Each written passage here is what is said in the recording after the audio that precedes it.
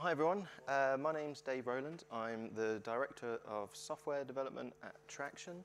Um, I'm mainly responsible for our now open source DAW engine, um, but also our DAW waveform, and I oversee the plugin side of our company as well. Um, one of my roles as part of that is that I'm responsible for all of our build systems and CI. Um, so I'm going to share today a few of the lessons that we've learned over the past couple of years, adding that into our build chain. Um, quick note before we get started though, we announced a, a whole bunch of developer initiatives last week.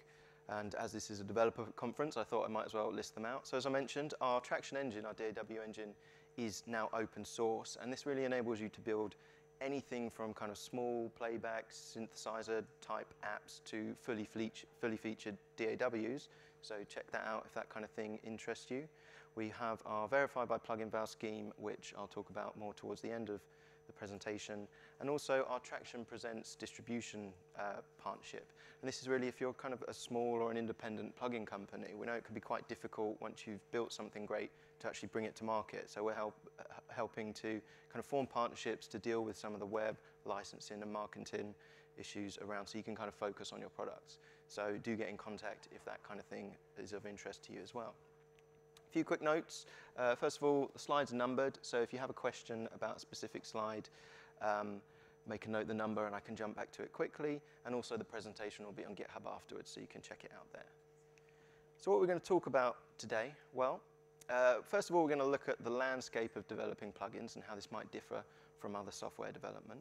Then we're going to look at some of the common problems between hosts and plugins and where these can um, arise from and then how we can use testing to improve our confidence when releasing software. And to that end, we're going to talk about pluginval, a tool we've created to kind of help this um, confidence and how we can use these things to move towards standards compliance. So part one, developing plugins. What's the landscape of plugin development? If you're developing a plugin today, what kind of things do you have to consider? Well, first of all, you'll probably be targeting three OSs, Windows, Mac, and increasingly Linux these days, becoming very popular. Um, I'm kind of ignoring the fact that Linux comes in two dozen odd varieties, um, but that's something to be aware of as well. We have four major plugin formats, VST3, VST, uh, audio unit on the Mac, and if you're targeting Pro Tools, you'll be dealing with AAX as well. These days, still two architectures. 32-bit is kind of on the decline, but we're still actively supporting it. Um, it will be good when we can focus solely on 64-bit. And then in terms of hosts, I kind of had a quick look on Wikipedia. There's at least 12 sort of major, well-recognized hosts, but there's probably 12 that you will also have heard of. And then there are a whole bunch on top of that, some for specific use cases like uh, video editing or uh, score editors and things. So basically, this number goes off into infinity. And in terms of kind of formats and platforms, iOS and AUV3, those are becoming more and po more popular these days. So again, more things to think about. So if you multiply all these numbers together, you end up with this 288 environments to test figure. And that's a huge number. That's a huge number of places that your code can end up being run on. It's much bigger than a standard desktop piece of software. So if I take a real quick, brief history lesson, plugin development started way back essentially with VST, uh, VST spec. Um, it was roughly an API of around 23 calls. Um, some of those kind of only got called once. And it basically encompassed, this is a bit of a simplification, but the state of your plugin, how it was being processed, the sample rate block size, your parameters, um, program list that you had, and then your DSP kind of slotted into the middle of that. There were optional advanced features like buses, double precision, but you could kind of ignore those for the large part. And this was a relatively small number of things to keep in your head. You could kind of manage this whole state of your plugin. Over the years, more uh, plugin formats emerged for different platforms, and then JUCE came along to kind of unify all those to create uh, cross-platform plugins um, on multiple operating systems. So it's essentially a lowest common denominator implementation based primarily on the VST spec. And to build a plugin in JUCE, you had to essentially implement audio processor. This kind of was about 40 calls, virtual methods that you had to implement. Um, again, relatively small number of things to keep in your head when you're building a plugin. However, moving on a few years, um, things have changed a bit. Hosts and plugin formats have more and more features these days, and as a result, that audio processor has features added to it and bits broken out into new classes. So you also have to be aware of audio processor parameter. They're kind of a separate notion to the processor these days. We have buses and audio channel sets that describe them. We have audio processor parameter groups for hierarchical parameters, and uh, you might have audio playhead, current position info that you need to be aware of, and kind of smaller things like track properties, curve data, etc. Um, the reason I mention all of these is most of these things are either present in their own files or reference to audio processor. An audio processor, the header file, is 1600 lines of code. Uh, so that's a huge onslaught of information, especially if you're new to the world of plugin development. And it's also worth pointing out that the comment block for process block function is 63 lines on its own. And that's 63 lines of things you should know or caveats or behavioral things that you need to be aware of. So what does all of this kind of encompass in terms of features? Well, we have our parameters and their values, names, labels, text readouts, defaults, suffixes, steps, categories, etc. We have processing in single, double precision, bypassed. If you're host, you might have to deal with suspension and also real-time or rendering processing, and you might be dealing with file reading differently, whether you're real-time or rendering, for example. Then we have playhead information and tempo, key, position, playing, recording states, we have channel layout and bus enablement, uh, latency you have to think about, obviously state restoration, your program lists. You might be thinking about things such as MPE compatibility. Then we have our listener classes that kind of bind all this together. We might have format-specific extra functions like automation state. I haven't even mentioned editors yet. That's a whole uh, thing. And more and more these days, we're dealing with scale factors and resizable UIs, especially if you're targeting um, you know, iOS or iPad, etc. Um, high DPI, we also have to be aware of that might influence how you write your interface.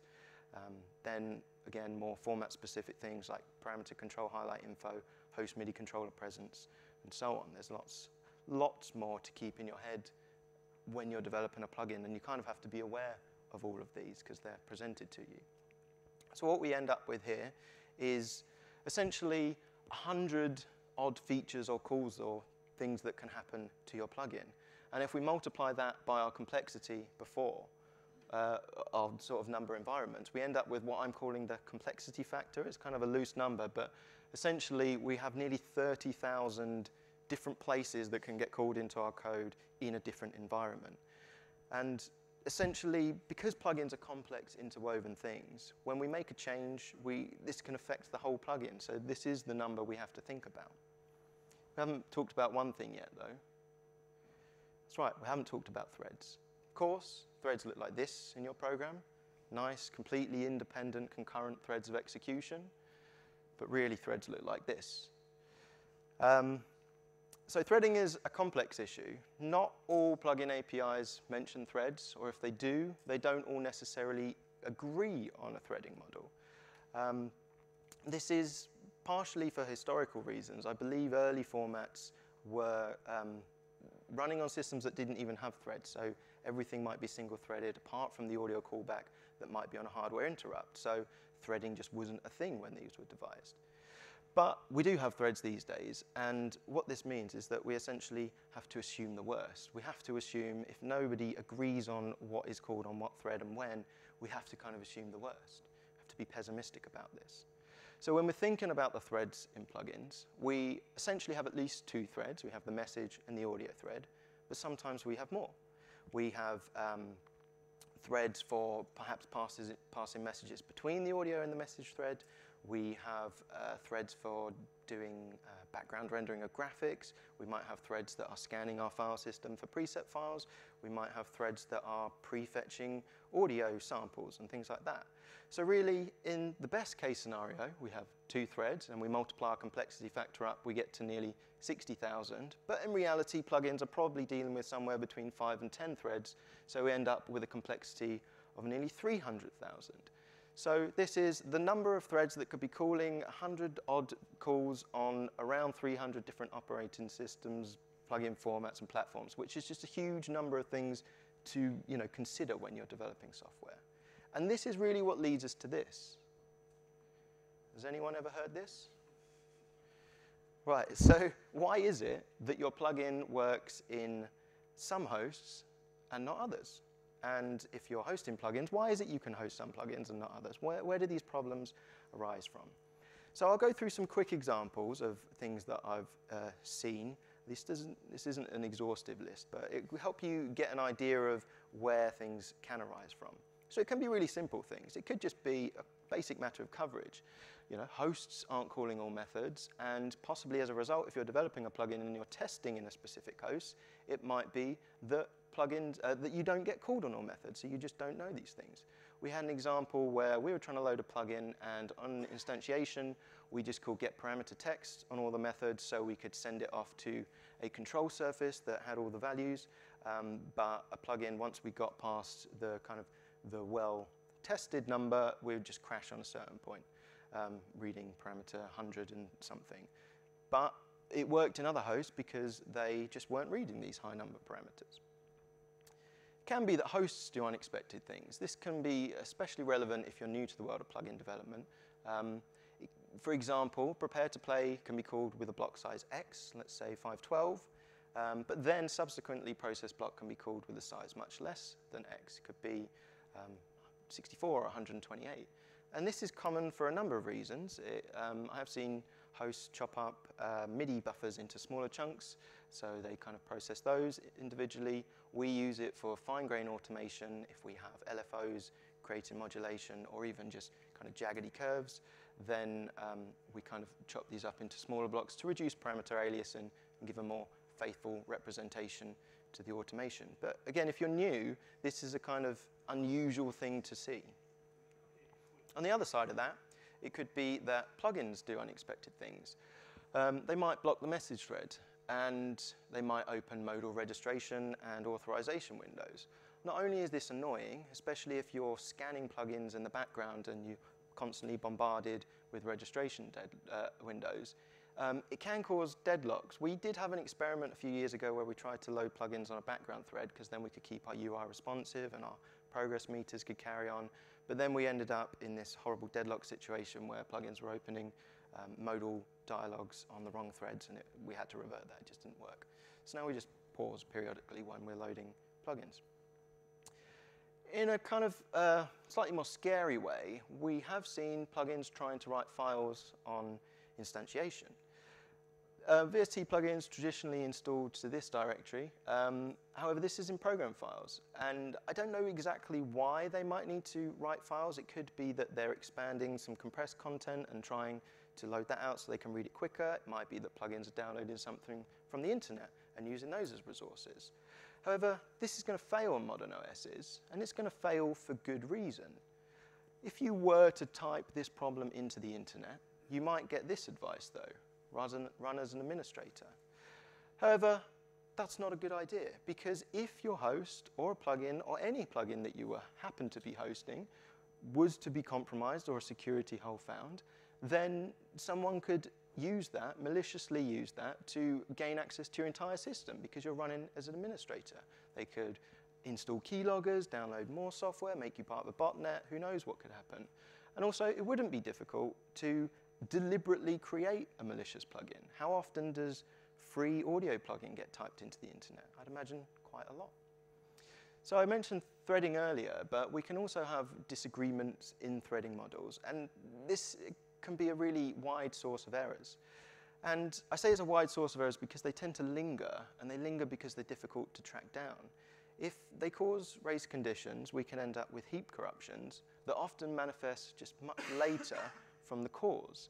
And this means they're really non-obvious in log files because they might you know, be crashing in a completely unrelated place. So to that end, we can you know, have assumptions are made. So plugins can make assumptions that calls will only be made from certain threads, or that they won't be made concurrently with other calls. For example, we might be calling process block on the audio thread, and before that we might be calling set parameter to um, run some automation, but then uh, as part of the host, you might have a UI knob, perhaps it's attached to a macro that controls other knob uh, parameters um, that's called, so then we end up calling set parameter from the audio thread and the message thread. On the other side of this, hosts can make assumptions as well. Um, get playhead at the bottom here is a method that should only really be called from inside process block because that's the only time we actually have a valid play context. But um, hosts make optimizations to avoid calling process block where possible. It could be that there's no content uh, like clips or regions for a specific time area, or it could be that they just don't call process for their entire audio graph when they're paused. But plugins might want to update their UI, they might want to show the current tempo, or if they're doing sequencing, they might want to show progress through that, etc. So it's a common thing that they'll want to find this information out continuously. So what I have seen is that being called on a timer, and a timer delegates this to the message thread. Now we're in violation of get playhead being called from inside process block, but we have to deal with this. So what are the reasons for these things happening? Well, it's not just a poor coding, you know. It, it's the APIs differ across formats, especially if you're writing in a cross-platform um, toolkit like JUCE. It, you'll be running for lots of platforms but write into a common API. And also, be, it's difficult and time-consuming to test every possible combination because all hosts have slightly different behavior. Remember our complexity factor of nearly 300,000?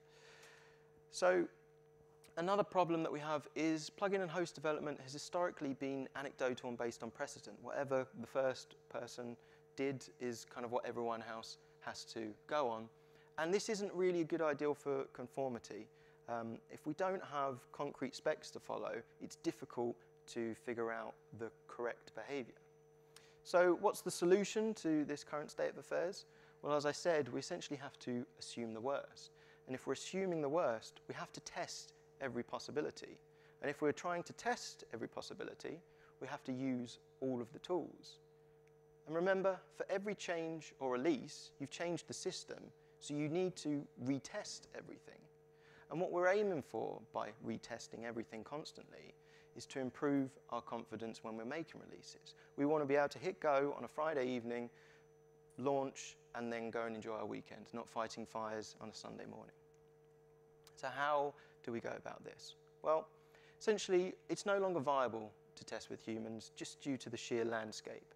Um, as an example, our flagship Synth BioTek has uh, 25,000 parameters. It's largely because we have multiple sound layers, but those are in use a lot of the time. Um, can you imagine trying to draw out 25,000 automation lanes in a two dozen hosts and then trying to run tests on that is just not really feasible. And also, humans are good at catching different things to tools. Humans are really good at UI or um, workflow issues. They're good at listening for audible defects, like, I don't know, perhaps an oscillator isn't working, or there's pops and cracks and things like that. So tools are really good at coverage, the, the time-consuming things that are um, time-consuming for people. So when we're thinking about identifying and fixing issues, because they will get reported eventually, we have to think about the cost involved in doing this. And there's a cost um, that changes depending at what point you can identify the issue. So we have to also think about the different stages once we've actually had a, a report come in. So there's a time to identify, and if this is coming from an end user, it might have to go through support, and then they might have to contact developers to let them know there's an issue. Um, then we have to actually debug and figure out what the cause of the reported issue is, figure out a fix, and then implement the fix. Then there's a time to test this and pass on to the various test teams. And then, of course, there's time taken to actually get a release out to the wild. And for each stage, don't think about just your personal development time that it takes to do this. Think about everyone involved in this release cycle. So as I mentioned, support might be involved. It takes their time to interact with the user and then contact development. And then you have QA, their time is involved to actually test the things that you've done. Then you might have web. They might need to spend time updating and um, uh, downloads on the internet. And uh, you might have marketing that needs to send out um, emails to customers to let them know there's new releases. So if you think about the time it takes for each of these parties involved, and then think about how much you pay them per hour, we can kind of end up with a cost related to fixing an issue. And as I said, the time it takes varies depending at what, which stage in the development cycle you can catch things. So I'm going to run through this list really quickly. It's basically uh, things that are quick to identify at the top and things that uh, take a long time to identify down the bottom. So we have instantaneous things like live issues. Then we have uh, compiler warnings and errors, and we can crank these up to the max to catch the most number of things, and we can use things like treat warnings and errors to reject from remotes if um, they cause problems. We have static analyzers that are essentially a different compilation process. Then runtime tests like ASAN and TSAN, UBSAN, and Valgrind. Um, I run with ASAN on about 95% of the time and TSAN another few percent at the time. These tools are so good now that you can run them um, pretty much constantly. And also, um, they not only help you identify things, but they help you uh, fix things quicker because they give you more information about the cause of problems. Then we have unit tests that are run during initialization often. Um, we have automated testing, which might be things like load in projects and state from the command line. We have validation tools. There's AUVal on the Mac, AAXVal, VST scanner, and pluginval, which we'll come onto. Then fuzzers, which can also be part of the validation tools. Onto the human side of things, we have QA that are particularly good at targeted testing. We can feed them with, you know, check out this new feature or this fix that I've done. Then we move on to private beta testers. These are often doing the job for free, which means that they're particularly good at uh, testing their own workflows, the common things that uh, they do. Um, and it's essential, if you're dealing with beta testers, that you make the bug reporting process um, easy, because then you can actually make this a useful phase. Beyond that, we might have a public beta phase, which is similar to private, but perhaps we have less direction um, for what they can test. Then we have release, which is always revealing. This is where we explode from our kind of small number of environments into every possible environment out there. Then we have things like sales weekends, which can cause upticks in sales, hopefully. And uh, these can stress new things like download bandwidth that uh, you might not have tested before. And of course, new product releases. It's similar to a release, but you don't have as much information to go on as in the past. And of course, new products are often combined with sales, so we get a double whammy here. So if we kind of think about the cost of, fixing and identifying an issue at each of these stages, we get roughly this exponential shape depending on um, how far through the development stage we are. So at the left, we have our live issues. Somewhere in the middle, we've got automated testing. And towards the end, we've got identifying an issue at full release for an end user. So what we're looking to do is move issues that we typically identify on the right-hand side and move them to the left so they cost us less money and less time. So how do we do this? Well, essentially, we improve the things that we have control over, things that we can do as developers to improve this process. And this basically, um, one prime example of this is tools and automated testing.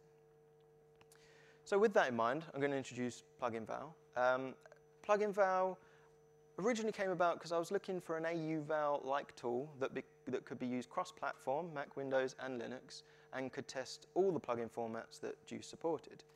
And I wanted it to be made easily part of automated workflows and CI. I quickly realized that this should be an open source tool, not only to enable community contributions and everyone to kind of get involved, but also because it can be a great teaching tool.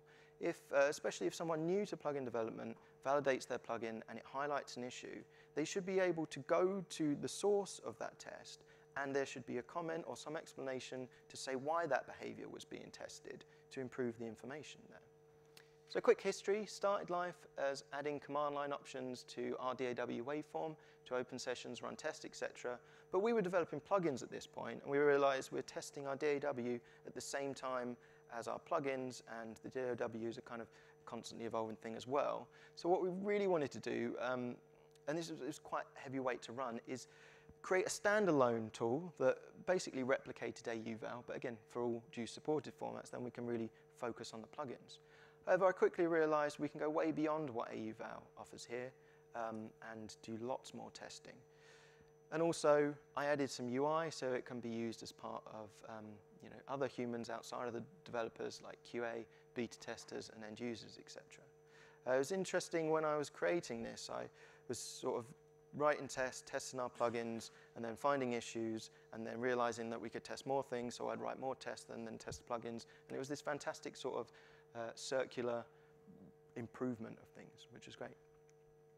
Um, this is what the UI looks like. It's functionally designed, you might say, at the moment. Um, I haven't spent a lot of time on it, as you might guess. Um, it's mostly been on the back end. But it essentially has two pages. On the left, we have the um, plugin list, so you can do a scan for plugins, and then you just um, select one and scan it. Then on the right-hand side, we have uh, the log output. And at the bottoms, you have a bunch of options for configuring your test. So you might be asking, what does it test? Well, primarily it's coverage. So we will check all of your plugin info, name, version numbers, etc. But then we'll go through all of your parameters. We'll check all the big list of things that I mentioned early on. We'll open and close your editor a few times, make sure that doesn't crash or have issues. We check plugin state saving and restoration. We do audio processing in multiple block sizes and sample rates. And if you think about the number of block size and sample rates, typically three or four sample rates are used, but perhaps a dozen block sizes. This is a number that's kind of already approaching difficult for humans to test. We do sub-block processing to cover the case that I mentioned before. Uh, we test automation. We have multi-threaded state and value settings, so we kind of really hammer on threads to check that that's secure. Uh, we do bus channel layout info. And we also check more advanced things like memory allocations on the audio thread. Although these aren't technically disallowed, you definitely don't want to do this because you're going to end up with glitches at some point. So we can check for these. Um, it says operator new here because we can check things that go via operator new. malloc, you need debugger hooks. That's not really possible right now. But this will catch things like vector resizes and um, lots of issues. And also kind of combined with parameters, we do fuzzing, so we can just really test lots of different parameter changes constantly. And it can do all of that in essentially a few seconds.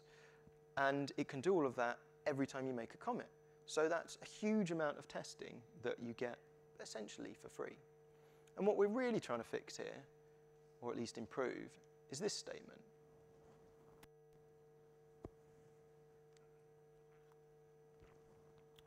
And this statement is really a sort of an admission that we've run out of resources because if you end up saying we don't support to someone, you're saying we just don't have time to test that. Um, so we're just going to say we don't support it and that's a kind of get out clause. But that's not really good enough. Um, we can do better. Uh, all of these things, the for plugin formats are there to enable us to not get into this situation. You wouldn't buy a car, go out and drive it on a road and then find out that half the roads are unsupported except maybe width restrictions and toll roads. But um, you know, if you buy a car, you expect to be able to drive it anywhere. So there's a whole bunch of use cases for pluginval. Um, primarily, plugin developers, it's essentially a quick, easy to use validation tool uh, that can be part of CI and really goes a long way to improving our confidence when we're making releases. But we've also found it's really good for host developers because we make a host and it's good for a number of reasons, but it's a quick way to test compatibility. So if you're developing a host and your host is JUCE-based, you might have a bunch of plugins installed, you can validate them all, and if they all pass, there's a good likelihood that they'll work with your host. If some of them do fail validation, it can be a really early identifier that you have an issue. So um, it could be a genuine bug that you need to fix in the hosting code. But if not, it could be that you've identified something you can just work around. Um, you know, like the example we saw earlier, perhaps you just don't call a certain method on a certain plugin. That's not ideal, but it's a pragmatic approach. Um, it's also a much quicker way of getting information between sort of different parts of your company. So um, you can get QA or users to test plugins, and this, if, if you get a good um, pluginval report from them, it can reduce the likelihood of actually having to get that plugin and test it yourself, which can be time consuming. Um, so these logs can be shared, which will, you know, you might be able to fix the issue just based on the log and get a new version out. Can you test it again? Oh, it's worked. Brilliant. Um, and also, uh, it's easier to share pluginval logs with other development companies. So if you have a particular issue and you have this open source tool that generates a report, you can say, so we found this issue. Here's all the information I have on it. Um, can you perhaps tell us what's going wrong? Is there something we can do? know, how do we proceed from here? And because it's open source, it improves transparency. You're not um, closing off your code and saying that we have an issue because then you get into a blame game. Um, this middle one here of it reduces the likelihood of having to go through the process of testing um, a plugin or host yourself is is interesting because it's essentially a long process. So if you have a report from a user that says um, that my, this plugin I'm trying in your host is failing, could be the other way around though, um, you essentially have to go through this process. You have to go to their website, you have to create an account, then you have to wait for an email verification. Once you've got that, you can finish your account creation. Then, if you're lucky, you can download a demo. And if you're really lucky, the demo will be the same as the full version the end user is typically using. And if you're really, really lucky, it will be actually the same version number that they reported an issue. If that's not the case and you can't get hold of a demo, you might have to then email support and say, I'm looking into an issue here, is it possible to get an NFR? Then you have to wait a few days possibly to get an NFR code, then go back and redeem the NFR. Then you're at the position where you actually have something to download. So you download, install, then you have to start up your host, you do a scan, then you have to authorize it um, or start your demo period. But then you might also have to install content. And you, certain plugins, either you might need content to run them, or you most likely will need content to try and replicate the issue that a user's reported. Then this step kind of commonly gets overlooked, which is you have to learn how to use the plugin. It's very difficult to replicate user issues if you're in a completely new piece of software. So you have to familiarize yourself with it. Then you have to try and replicate the issue that was reported to you originally. And this might mean that you don't have the same setup. They might be using a particular MIDI controller that you don't have, so you might have to try and replicate that by drawing in MIDI manually. And then, of course, what often happens is it will crash and you will have very little information because there will just be a bunch of addresses that you have no information for. So then you have to contact the other party and say, hey, can you tell me what's going on here? Is there something I can do? So pluginval can kind of just improve this information, basically. So I briefly mentioned end users can use this as well. And this makes the reporting a lot quicker. It's much simpler for developers to look at a plugin log file than um, a stack trace with a bunch of random addresses. But of course, stack traces are very useful, uh, especially if you can resymbolicate your side of the code, which you should be able to do. Um, but in general, if you get a bug report from a user, the more succinct and detailed the information that they can provide you, the much easier and quicker it's going to be to fix that issue. Um, if you get this doesn't work, then you haven't really got anywhere to go with that. It's going to be a long process, and that's probably going to go to the bottom of the pile. If you can get a report that says yeah, they were testing this plugin, this version number, with this set of parameters, um, which is what pluginval gives you, then you kind of you can replicate that much quicker. So moving on to the architecture of pluginval, as I mentioned, it's UI and command line app. We have in and out of process validation. This is useful um, particularly for the UI. So if you're scanning multiple plugins or even just one, the scanning can happen in a different process so it doesn't bring down the UI, which can be, um, you can lose your log file then. And um, as I said, we can scan multiple, validate multiple plugins. It's based on the JUCE unit test framework. So if you're familiar with JUCE and the unit test framework, you should be familiar with the way tests are run in pluginval. And this makes it really easy to contribute tests. So here's an example test. It's very simple. Um, we just inherit from plugin test. We give a name of our test and a strictness level. This is essentially how much we're going to stress the plugin with this number. So kind of quick to run things will be low numbers and memory allocations in the audio thread would be a high number, for example. Then we have to simply override this run test method and we get past a plugin tests object, which is the JUCE unit test object. So you can call expect equals or log message on that. And we also get our audio plugin instance, which we can use to run tests. So as I said, this is a simple test. We simply call get state information, randomize some parameter values, and then try and restore that original state. And what we're essentially checking for here is that none of these crash. And then to add this to our list of tests that are run, we simply create a static instance of it. So it's easy to get hold of pluginval as well. We have it available as source code on GitHub, and we run master develop branches in a similar way to JUCE. It's a one-liner to clone from the terminal. Um, we'll see that next. It's self-contained, which means it includes JUCE as a Git submodule, so you don't have to configure it yourself and point it um, at your own version of JUCE and it will always build with that version of JUCE. And also we have scripts to build and test the app. So just in the repository root slash tests, you can find those. We also have version binaries. So if you're testing against a specific version, you'll always be able to get hold of that version. And also we have the latest binary. So if you just want to always test against the latest version, there's a URL for that. So these stages look like that. If you clone and build, as I said, one-liner, git clone, recurse submodules, and the URL to the repository. This works with HTTPS as well, uh, or, or, SSH. Um, then CD into the install directory, and then just run the script for your relevant platform. Or you can download the latest. Mac, Linux, you can typically use curl or PowerShell on Windows. Then unzip that, and you'll get a plugin, a, a pluginval binary.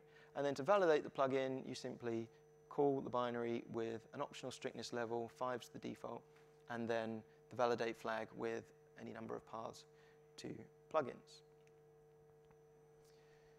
This is what the output looks like. It essentially gives you information at the top, and you can see the random seed is provided there, so you can also replicate that. You can feed it your own random seed now if you have a specific um, seed that's causing issues.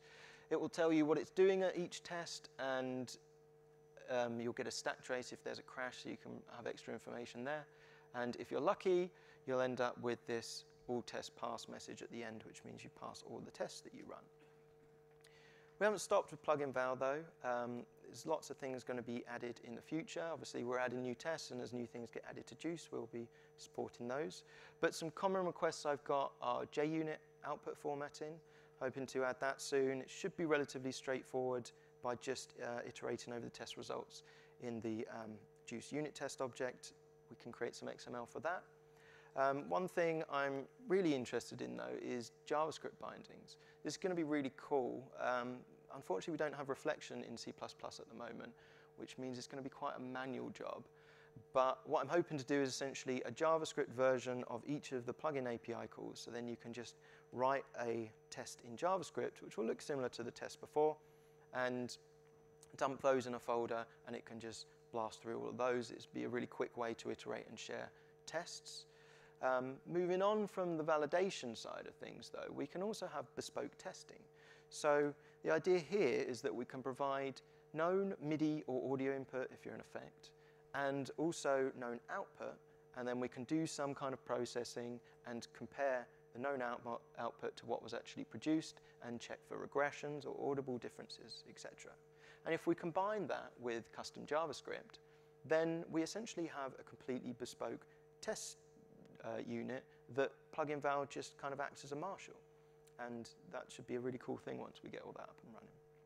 So there's been a good response to pluginval so far. Lots of people have said that they're using it. We've got around 45 stars on GitHub. These companies have contacted me directly and said, um, yeah, we're using it, it's helping us find issues, which is cool. Interesting one here is um, Delta V Audio. They make the spacecraft iOS app you might have heard of. Um, it's doing really well. Because this is developed in JUCE and it's developed as a um, plugin format, they're actually using pluginval to validate the and test the plugin version that then gets produced as an iOS app. So that's quite a cool way of testing as well. And because there's lots of people that have come up and said they're using this, what we want to do is really promote um, testing and people that are being conscientious about their code. So as I said at the top, we announced our verified by pluginval scheme. So what we're doing here is essentially saying, if you're doing testing, let us know and we'll just advertise that fact and let everyone else know that you're being conscientious. So all you have to do is send us a conforming log file for each plugin format on each platform and we'll add a link to your company and the various plugins there. So hopefully um, people can get involved in that. So in summary, I hope everyone's taken away today that developing plugins is hard. And it's, it's hard because it's compounded by a complex landscape. And also it's just hard. Um, catching bugs and issues early saves time, and therefore that saves us money. And automating testing um, can make this, thing, this quicker and simpler. And as part of that, pluginval can be added to your toolchain to improve test coverage.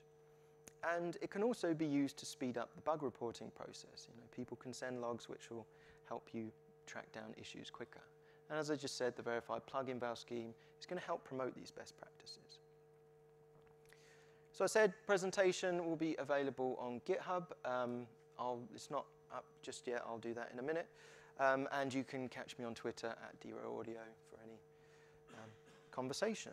So thanks very much. And are there any questions?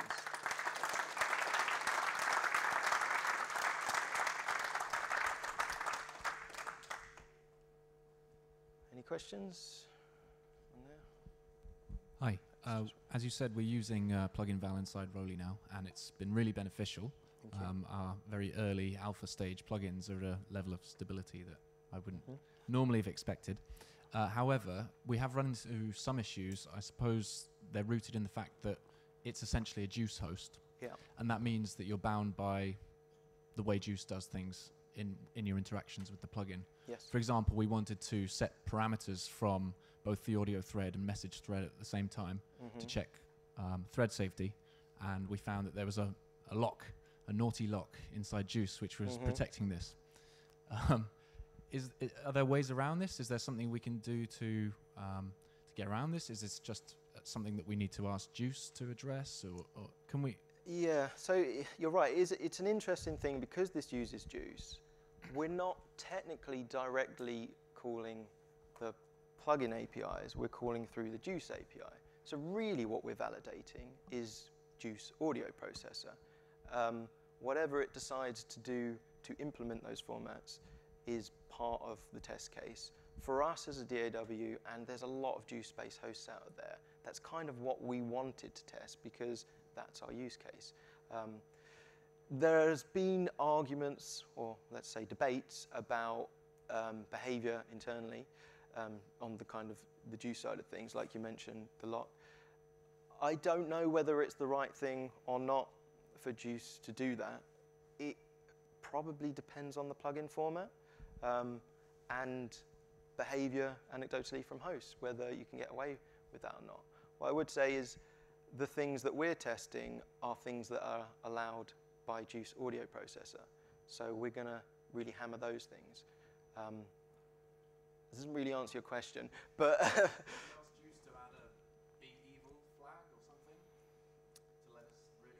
yes.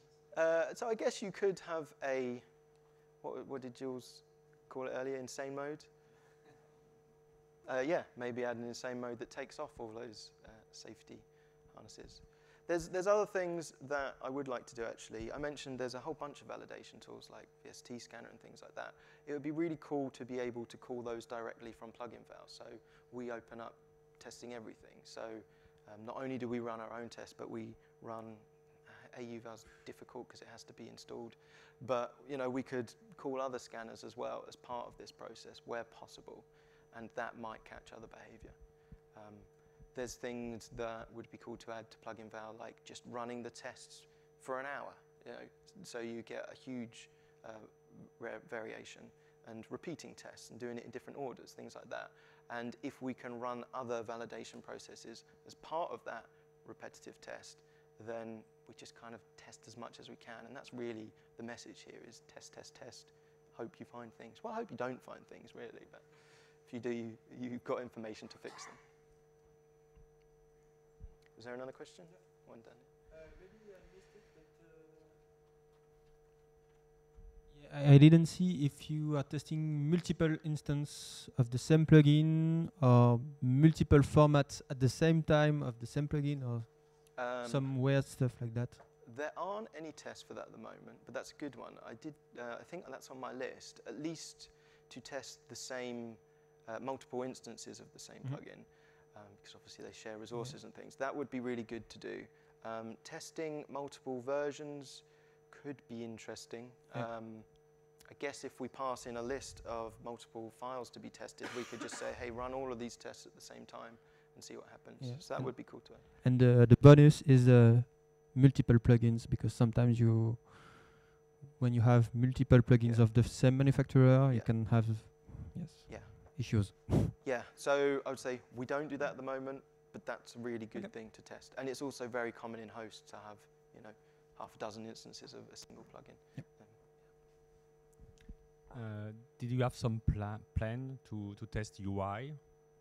Um, Yeah, so everyone asks. You, so UI is UI is really hard. Um, we do open the editor and close it a few times in a few different scenarios just to check that that doesn't crash. Actually checking it produces the right output is difficult. Um, we have had discussions of at least trying to like take a screenshot and then comparing it to some known output to know whether it comes up blank or not. But that doesn't necessarily identify if you have a button misplaced or something like that. Um, I don't really know of a cross-platform way to do that yet. So if anyone has any ideas, that'd be good. Um, but no, we can't test those things at the moment, I'm afraid. I think there was a question over there.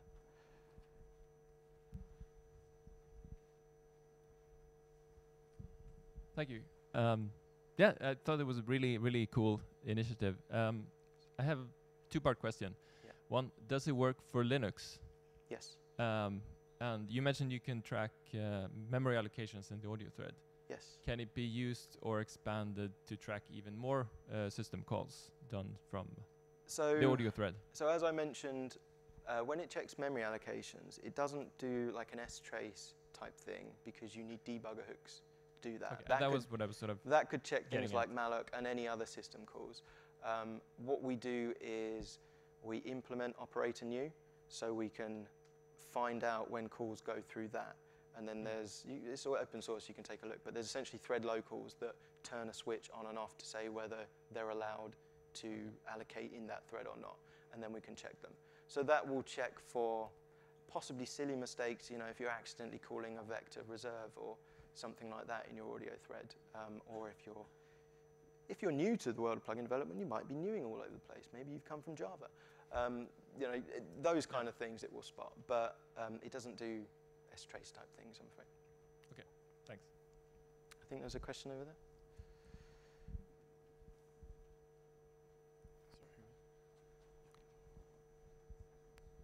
So something that uh, was not so clear, is it possible to test MIDI events, MIDI messages? Um, for s- example, for a synth synthesizer plugin? So at the moment, we have some randomly generated, if it's a synth, we will randomly generate a note on and off like every other block. So it will check some random input. Um, but that's not really ideal because you might have a long attack or something on your synth. But so what we're hoping to do is add um, input where you can specify a MIDI file and it will just play that entire thing. Um, so that will be really testing kind of the full capabilities of synths, but that's not quite in there just yet. Does that answer your question? Is there another one there? Hi. Um, uh, you mentioned CI. Um, You mentioned what, sorry? uh, CI, continuous integration. Oh, command line interface. CI, continuous integration, yeah. Yes. Um, I just wondered if there's like uh, recommended ways to use pluginval, like uh, with like post commit hooks, or do you run stuff on a server? Um, so the way I've found um, RCI to run, um, it was a good experiment I ran at the weekend actually because I was started on a different CI. We run Jenkins locally for all of our plugins, and that's largely because um, it's there, and also to build and upload our plugins requires an iLok, so it has to be plugged into a physical machine. Um, so uh, when I was, I don't know if anyone's ever used Jenkins, but it's an interesting experience. And I- basically realized I had to completely redo the way I was doing things and across multiple different platforms. So what I realized the best way to do this was just to try and get it down to one script that could run for each different platform. And then I would, the, the bit that is Jenkins is tiny. It's basically just um, a clone and then run this script. So I've been taking that approach for the last year or so, and it's worked quite well because it means I can tear down CI, build them back up again.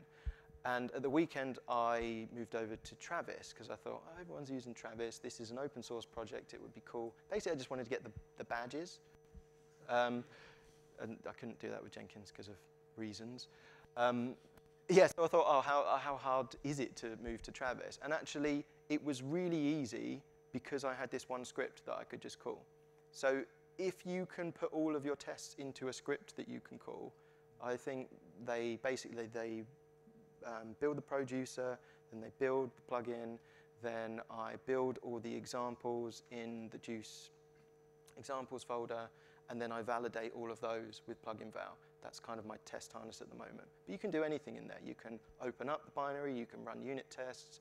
Um, if your repository has other plugins in it or you build other plugins, you can then test them. So whatever you can do in there, really. Um, so I I hope that answers your question.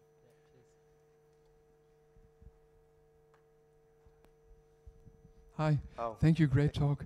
Um, think- I have a question about uh, the random testing. Uh, when sorry, could you just? I have a question about the random testing. Yeah. Um, if something fails, uh, is there a way to uh, rerun the same tests with the same seed and maybe debug? Yes. So in the version that I showed, there isn't, but in the one on GitHub um, has an option where you can set the random seed, and you can set it as hex or, or binary, and then that means if you get a report that has that seed listed, you can just rerun the test in that, maybe in debug mode, um, so you can actually find out more information. Okay, great. Thank you. I think we're out of time. So thanks very much.